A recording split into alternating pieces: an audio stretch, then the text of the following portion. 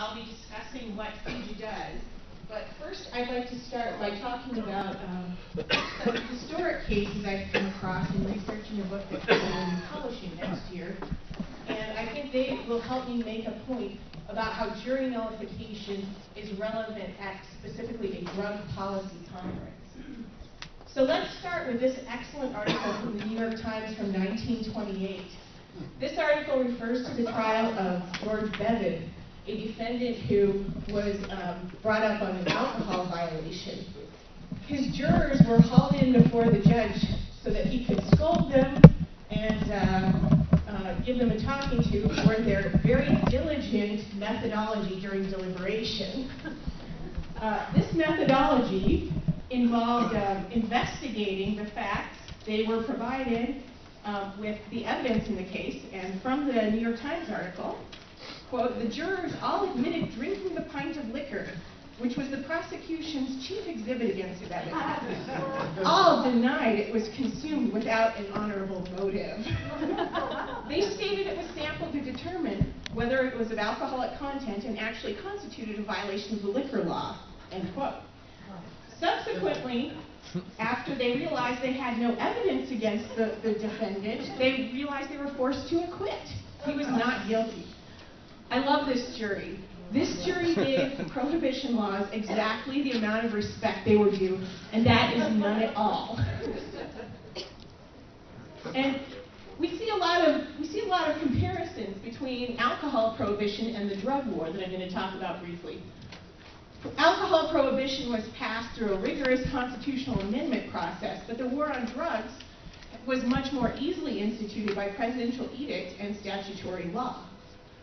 Alcohol prohibition, like the drug war, was a huge failure, but it was repealed in just over 13 years, whereas we've had 40 plus years of the destructive war on drugs. The court system was heavily clogged with alcohol violation cases, and prosecutors leaned heavily on the plea bargain to clear the system. They were relatively very generous with those pleas. On the other hand, now 90% of felonies, many of which are drug cases, never even get to a jury trial. And that is because prosecutors are very maliciously stacking charges. We're seeing mandatory minimums. We're seeing drug courts and other elements that are tilting the playing field bullying defendants into foregoing their right to trial by jury and taking a plea bargain. And those plea bargains are, of course, much harsher than they would have been during Prohibition. We're also seeing a two-tiered system in our society, just as we did during Prohibition. Uh, back then, uh, prominent members of the community, often government officials, would have their own private entrances to speakeasies so that they could violate the law in the privacy and comfort that they desired. Uh, in, the, in the current situation, we actually have adults alive today who have never had a president who hasn't violated a drug law. Yet none of these presidents have ever been prosecuted uh, under the laws that are typically used to ruin other people's lives, and especially used very harshly against low-income individuals and people of color. And as a panel that is not notably diverse by outward appearances, I think we would be shamefully remiss if we didn't acknowledge the egregiously disproportionate use of the drug war to damage communities of color. And with that, let's go back a little bit further to 1850 um, during slavery in the United States. Um, on the left, you see a graphic um, which I think Steve in particular will appreciate. These were the first, were early Flex Your Rightsers. they are uh, Specifically, this is a flyer from Boston in uh, April of 1851 urging people not to talk to the police and indeed to shun the police. Uh, this was a couple of months after um, a an alleged fugitive was captured named Shadrach Minkins, which led to a series of, of cases called the Shadrach Rescue cases. The individuals who helped this person escape to Canada were prosecuted under the Fugitive Slave Act of 1850. Um, the Fugitive Slave Act of 1850 was a key part of the Compromise of 1850, which was a set of federal laws crafted to keep the Union together with a tenuous balance between free and slave states, it imposed upon people in free states numerous objectionable pr provisions, including that private citizens would be obligated legally to assist in the capture of people who are alleged to be fugitive slaves, and that those, fugi- those alleged fugitives would not have a trial by jury, instead they would have a trial by commission. Often those commissioners would get paid twice as much to, if they agreed to return the individual to slavery rather than if they, uh, they acquitted. And in fact, they could be returned to slavery or even in fact sent to slavery, a, a free person, simply on the claim of the individual that they said that they owned this person. Uh, the second set, uh, oh, the, I should also mention the Shadrach rescue cases were very notable because the government was going to use them as an example of how they were going to be able to make this compromise work. And they prosecuted them in the order in which they thought they would be most successful in getting prosecutions. After seven, the first seven consecutive trials, they gave up because they couldn't get a single conviction of any defendant, black or white. People of Boston protected their neighbors and did the right thing, ignoring law in the process. The other two um, items on this slide are from the Jerry rescue cases. These were a similar set of cases for the rescue of a fugitive and um, helping him escape to Canada from New York. In this set of cases, we saw 26 trials with a single prosecution, which would likely have been overturned on appeal had the defendant not passed away in the process. And this was, this was a huge embarrassment for the government and in fact ruined political careers over. And again, we can see some very notable comparisons between slavery and Jim Crow era and drug prohibition now. Under slavery, blacks had no legal recourse at all, no rights, no legal recourse. Now, it's obviously not like that now, but we are kind of going back in that direction when we see Fourth Amendment protection circumvented for so-called public safety reasons. Blacks had no political participation, including serving as jurors or testifying on their own behalf under slavery, and even after slavery, poll taxes, rigged so-called literacy tests, and other things were used as preconditions to allow them into the system, thereby continuously keeping them disenfranchised. Now, instead of that, we see felony convictions which um, result in loss of voting rights, resulting in loss of jury participation, and so on. Again, disenfranchising people from the political process. Forced labor was the rule under slavery, but even after slavery, vagrancy laws mandated labor even for people who had previously been freed. And if one was convicted for a so-called vagrancy violation, states could hire out the prisoners for no pay, uh, creating a condition of quasi-slavery. Well, the 13th Amendment left an opening for that by making an exception for involuntary servitude in the case of punishment for crime. And what do we see now? We see victims of the drug war being used as cheap labor in private prisons or being contracted out. And often they'll get paid something in the neighborhood of like 19 cents an hour. Um, under slavery, explicit racism was the law with separate penalties for whites and non-whites. Now we still have slave, we still have racism in the system, but it's more implicit, and we kind of hide it under the fact that the so-called laws apply to everyone. However, they are not enforced equally, and we can see that very measurably in racial disparities for arrests, convictions, sentencing, and e this is true even when corrected for factors such as frequency and severity of, of offenses. So what is going on here? We have spoken up repeatedly against both prohibition and slavery, but the war on drugs is insidiously being used to circumvent both of those statements made by the people. And in your packet, you'll find a little uh, container of sweet tarts, which just shows the level of maliciousness we've gone to. People are being prosecuted for less than the amount of, of drugs than, than you have in the, the sweet, sweet tart packet. So, I mean, it's just ridiculous. Um, and I'd also like to mention, I'd like to reframe here something that Clay said. He referred to jury nullification as disingenuous fact-finding. And I'd like to suggest an alternative framing. I consider it a genuine finding that the law is, as applied in the case at hand is wrong, and I believe the true disingenuousness of the system is from laws that redefine vices which harm nobody as crimes. Crimes are actually things that harm people or property. And further disingenuousness, we, come, we, we saw from Tim's talk, in judges um, explicitly misinforming jurors of their rights. So with all of these parallels um, in these two situations, there is a notable missing parallel.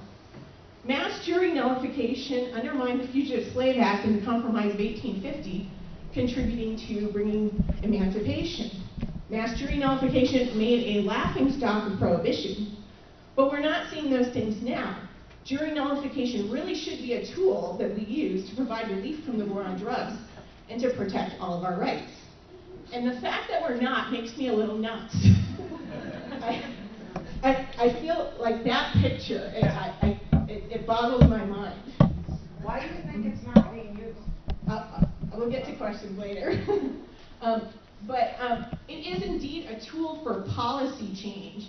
And we can see that because two constitutional amendments were helped along to their, to their final passage through jury nullification. And in fact, the highest and best purpose of the independent jury is to protect each other from these unjust laws and abusive prosecutions imposed by government. And to quote two notable um, Americans, let's, let's, I agree with Nancy Reagan, let's just say no to these laws. And I also agree with Barack Obama that we can't wait. It's been 40 years, it's been far too long. Now, we saw earlier there are a number of lawyers in the room, but in fact, all of us are going to have a hard time getting on juries, not just the lawyers.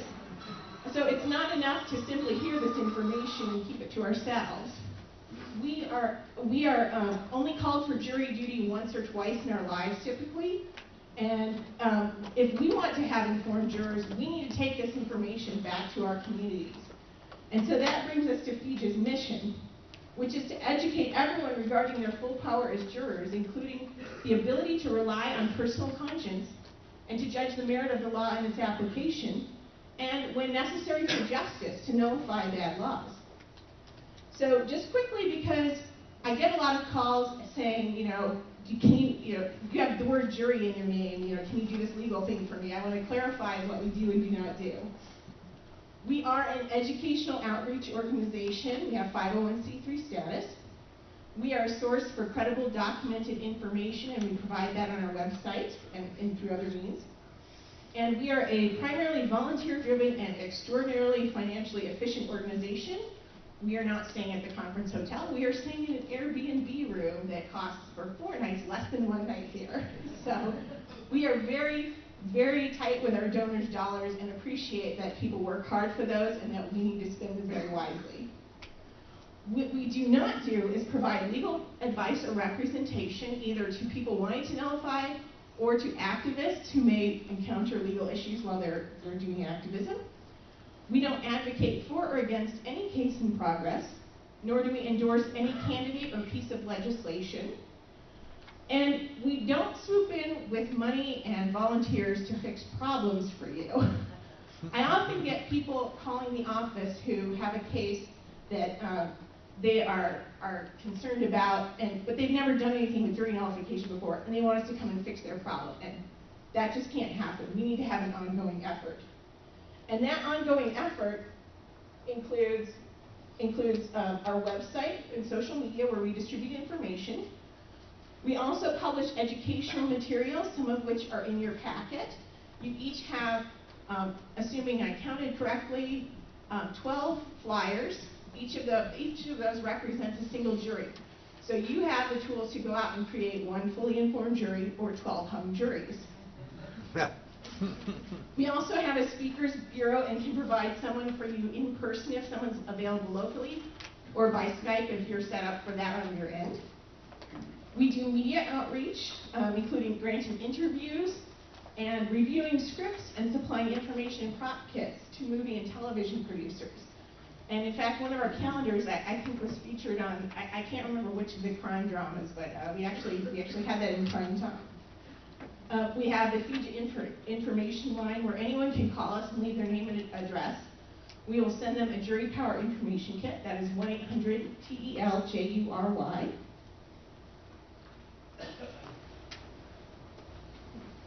We are very active in communities doing sidewalk activism, near courthouses, downtown, public transit stations, and so on. Um, hosting information events. Hemp Fests are a very popular place for these tables. among others.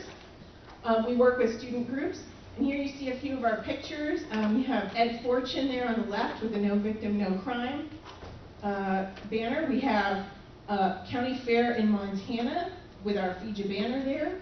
In the middle, we have um, someone from a Jury Rights Day event this year handing out literature. The fourth picture is in front of the Hall of Justice in San Diego, where that week, uh, you can see them reading our literature, and that week there were two cases that uh, were likely nullifications. And there on the right, someone from our Florida campaign. Jury Rights Day is September 5th each year, commemorating the uh, trial of William Penn. And uh, here are some things from, from our previous Jury Rights Day celebrations. This year we had 26 events across the country, and we'd be happy to help you do that next year. We also have local campaigns, um, sometimes organized by us, sometimes organized by local activists or with other groups. And here on the right, you see um, an ad. Future doesn't place ads, but people can raise money to place ads on our behalf. That is currently in the Judiciary Square uh, metro station in Washington, D.C. Um, we also have a program called Lunch Break for Liberty. I'd like to invite you to join me at lunch on Saturday. Meet at the FIJA table at the beginning of the lunch break. Bring your 12 flyers. We'll go up and down canvassing the 16th Street Mall. Uh, why not do Denver a favor while we're here? We have a huge force, right? um, so we'll meet at the table. I'll give a little introduction to how we do it, and then we'll go walk down, hand out literature, and everyone can grab lunch when they want it. Um, so last question is, you know, what can I do? Well, aside from understanding your role and, and acting as a juror, you can engage in juror education in your community. And you can also help us continue our work with your volunteer efforts and contributions. What is at stake is huge.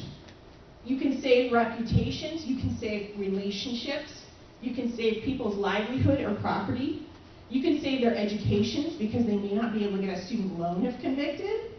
You can save their freedom and you can in fact save their life. I mean, even if they weren't, even if it wasn't a death penalty case, people do get killed in prison.